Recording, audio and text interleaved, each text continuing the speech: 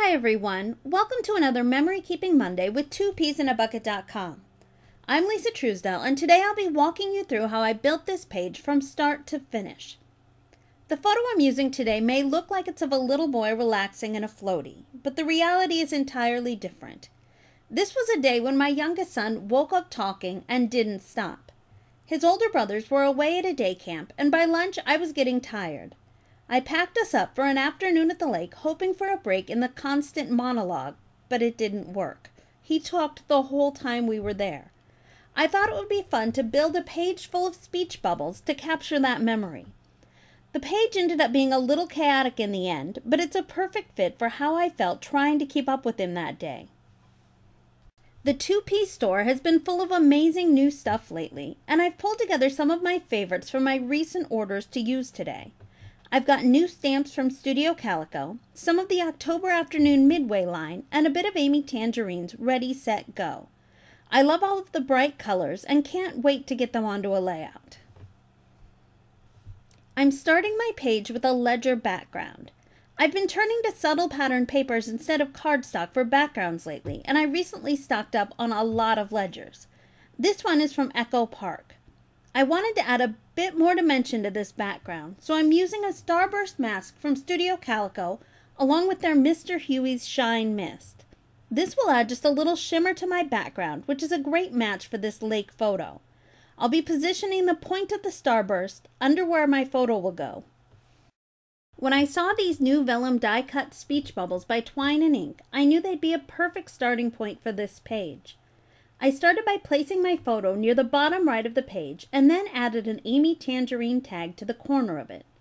The tag comes already embellished with stitching and buttons. I love these little details as a time saver. From there, I started placing the vellum bubbles above the photo. I'm spreading them out evenly and making sure I leave some space in between them so I can add other embellishments to the grouping. I wanted to keep with the speech bubble theme, so I grabbed these new stamps from Studio Calico. They're exclusive to 2Ps, and I knew the big speech bubble would be perfect. I stamped it onto neutral pattern paper and then cut out the shape before adding it to my page. I'll add my journaling to it later. Next, I'll start to fill in around the speech bubbles with other die cuts and embellishments. I still haven't glued anything down at this point. I want to be able to move things around and make adjustments as I bring in more layers. I'm using die cuts from Amy Tangerine and October Afternoon, and the wood veneer hexagons are from Studio Calico. There's really no right or wrong to this. Just start adding bits and pieces and moving them around until it looks right. I'm trying to balance out the colors that I'm using, and I'm making sure that I spread out the dimensional accents. There are still a few more big empty spots in my design, so I'm going to bring in some vellum arrows from Twine and Ink, and then add some more stamps from the Studio Calico set. I like to place the actual clear stamps right onto my background to get a feel for how they'll work before I commit ink to paper. I'll go ahead and glue and stitch everything down before I stamp these images. I have a lot of floating elements on the page, and I want to give them a strong base at the bottom of the layout. I'm starting with this wide gray striped washi from Freckled Fawn and placing it about half an inch from the bottom of the page. I'm laying it underneath my photo and stretching it almost all the way across the background. Next, I'll layer this dark wood grain paper along the very bottom of the page. I like to use darker tones here at the bottom to balance everything else going on on the layout. I also want to bring a little color up to the top of the page, so I'll be starting with a navy border, and then I'll add a bit of green pattern paper over to the right side.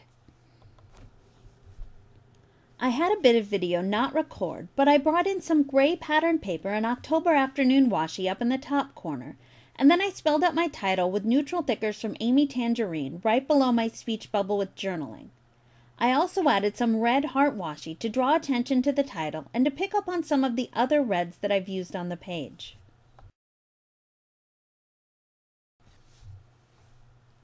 To finish this layout, I just want to add a few more dimensional accents. I'm starting with October afternoon brads, one by the speech bubble, one on the right, and one up at the top left. My last embellishment will be a few of these enamel dots by my mind's eye.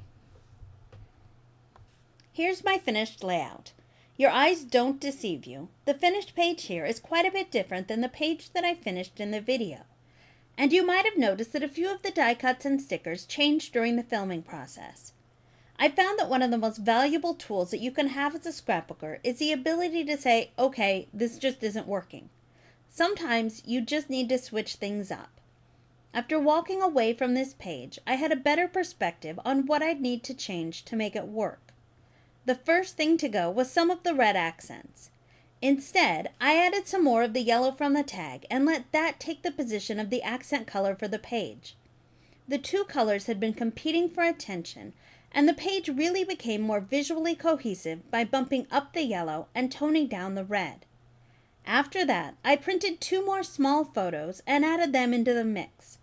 These photos are much more animated than the focal photo and bring in a lot more energy. I'm glad I took the time to make these changes. I think they helped my layout achieve the feeling that I was going for when I started.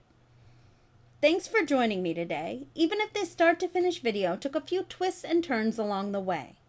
I hope to see you next week for another Memory Keeping Monday at 2peasinabucket.com.